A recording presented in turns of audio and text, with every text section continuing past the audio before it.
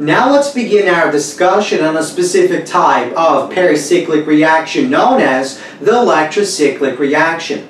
Now recall that a pericyclic reaction is a concerted reaction in which the transition state is cyclical. So there are two types of electrocyclic reactions. We have thermal electrocyclic reactions in which the energy source is heat and we have photochemical electrocyclic reactions in which the energy comes from light. In this lecture, we're going to focus on the thermal electrocyclic reaction.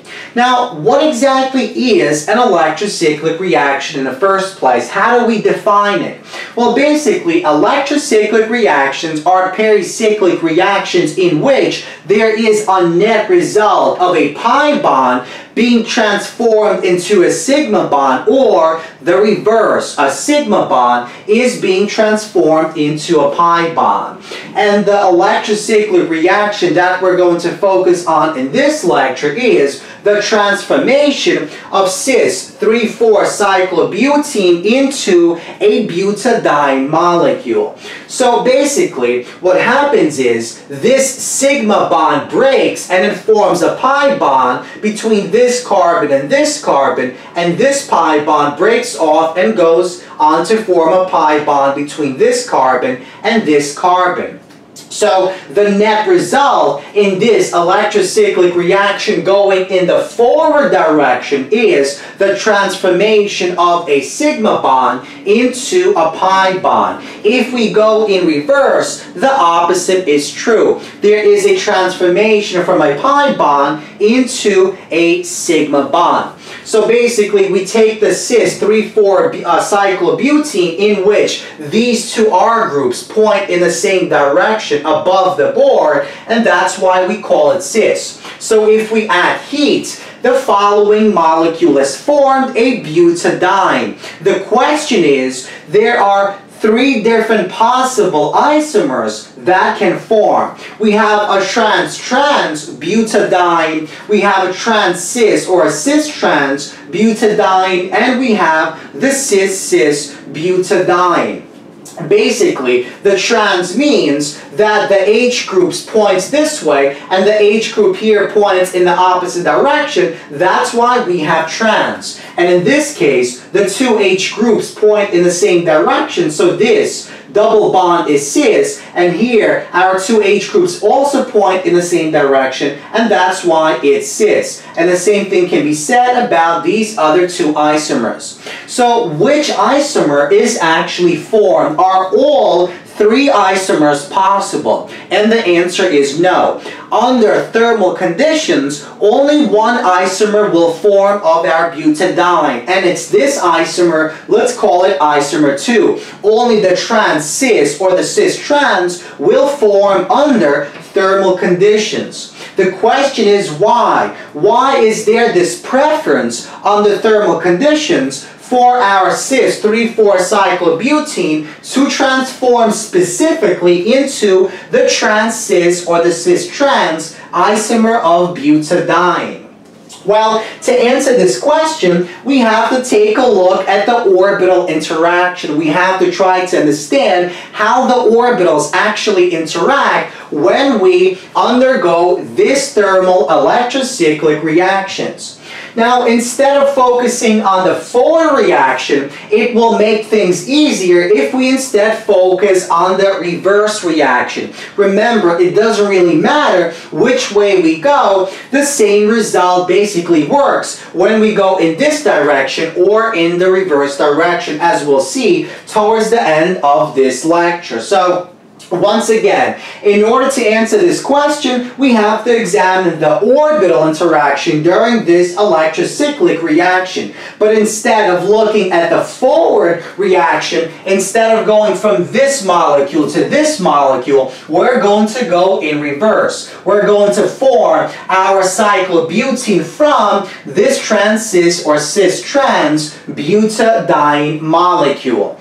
Now, the next question that we have to answer is, what are the molecular orbitals, what are the pi molecular orbitals of this butadiene, of the 1,3 butadiene molecule? Now, actually, we already spoke about the molecular orbitals of 1,3 butadiene in a previous lecture. And if you're not sure how we can build the pi molecular orbitals of this molecule, I'll link you up here and just click that link and watch that lecture.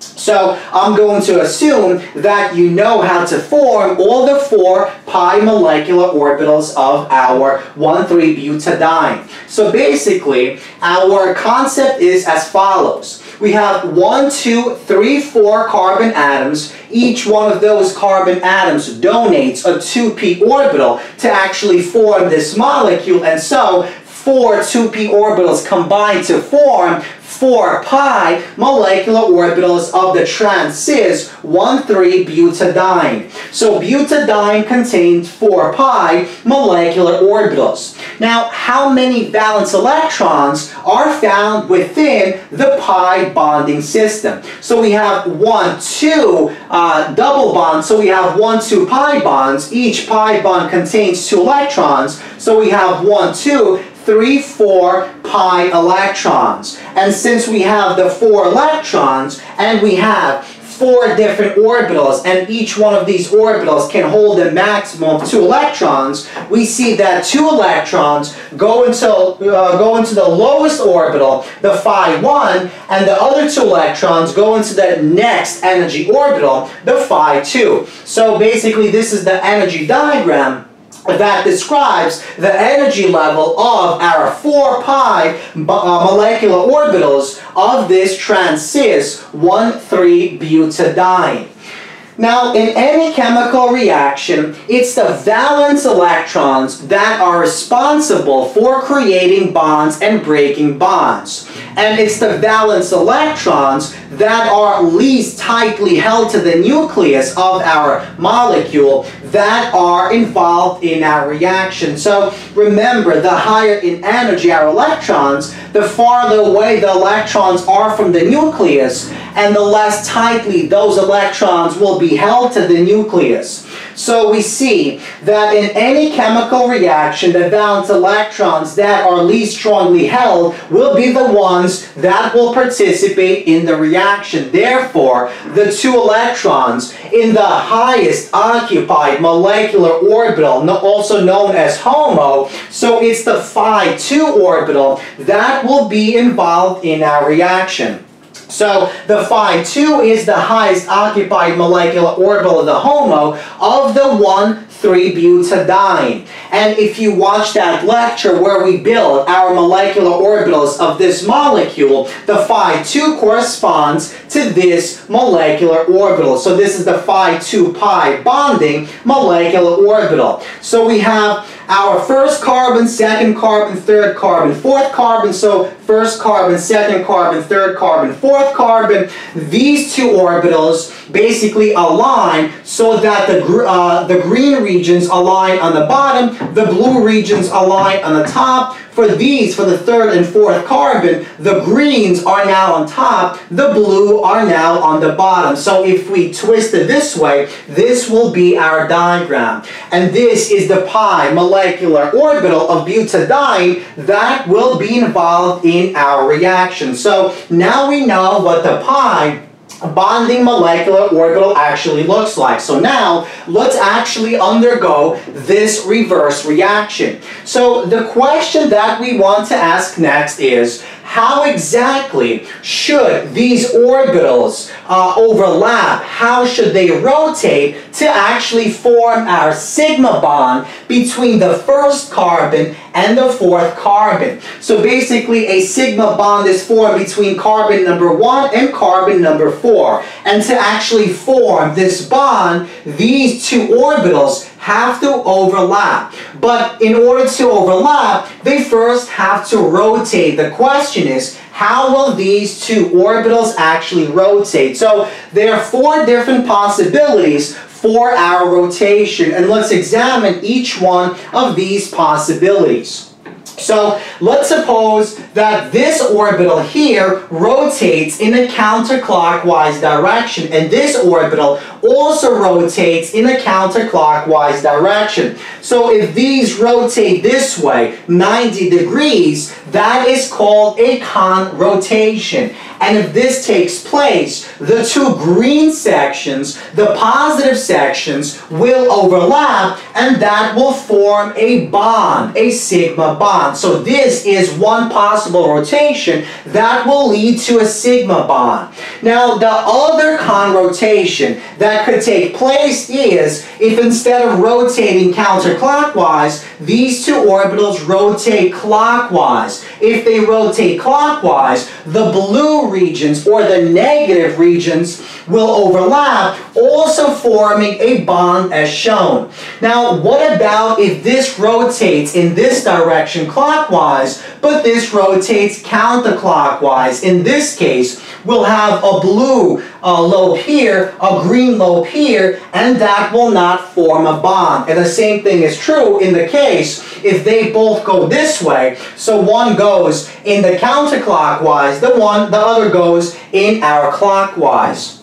So basically, we do not form a bond in this case. So basically, when they rotate in the same direction, that is known as a conrotation. If they rotate in opposite directions, that is known as a disrotation. And we see that for thermal electrocyclic reactions, the only type of rotation of the orbitals that actually leads to the creation of a bond is a conrotation.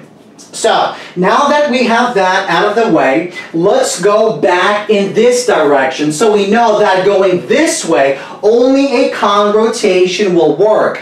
And that means going in this direction, from the cyclobutene to the butadiene, only the conrotation will work. So let's begin with our cis 3,4 cyclobutene as shown.